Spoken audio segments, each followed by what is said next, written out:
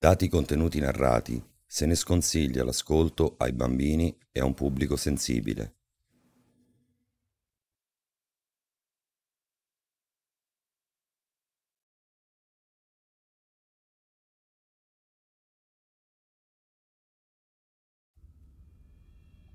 Il mistero dei bambini di Rebiribo 00 Capitolo 13 Te come stai?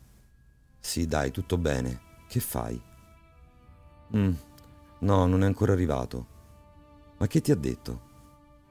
Beh, tranquillo, neanche io gli credo. Senti, Cri, eh, devo dirti una cosa. Eh, eh, sono incinta. No, a lui gli ho detto che è suo, ovviamente. Ma non penso perché facciamo l'amore una volta ogni morto di papa. Dai, ci sentiamo dopo.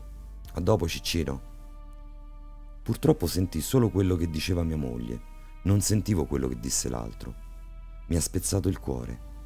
Mi sento morire dentro. È come se una lama mi stesse perforando l'anima.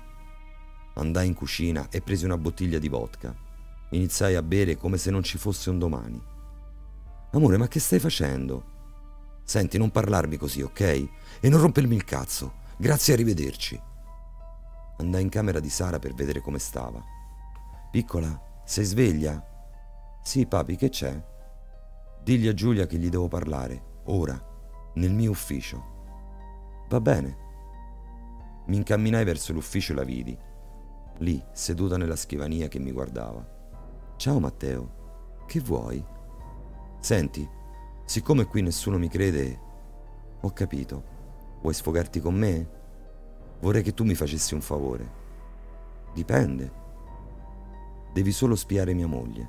Esce sempre per quest'ora e mi dice sempre che deve recuperare delle ore del lavoro. Ti prego, seguila e poi raccontami tutto. Va bene, dai. Comunque, anche io ti devo delle cose. Ah, wow! E cosa? Pensa bene a quello che ti dicevo. Io lo so che sono cattiva, ma il mio capo si arrabbierà molto. Solo che più di farti capire le cose non riesco. Vado a spiarla. A dopo. A dopo. Giulia scomparve nel nulla. Mi ha fatto un grande favore. Mi sembrava simpatica oggi. Boh, vabbè. Andai da mia figlia per parlare un po' con lei, ma quando entrai